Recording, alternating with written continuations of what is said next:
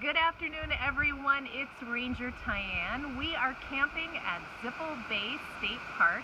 That's at Lake of the Woods in beautiful Minnesota. We've had gorgeous weather. We have been really lucky with that.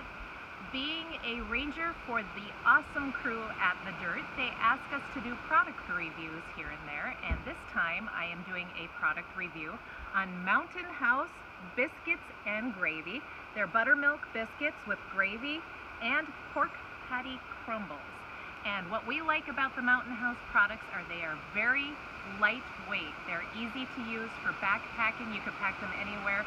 Very light to carry, so you could carry quite a few of them.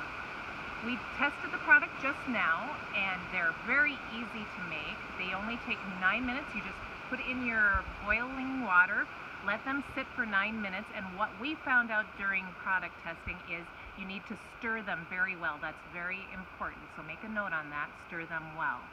Uh, we loved the flavor, um, definitely don't need any extra seasonings in them. They are seasoned very well, so everyone thought they were delicious. So from the Jackson family, we highly recommend Mountain House Biscuits and Gravy. Have a great afternoon, everyone.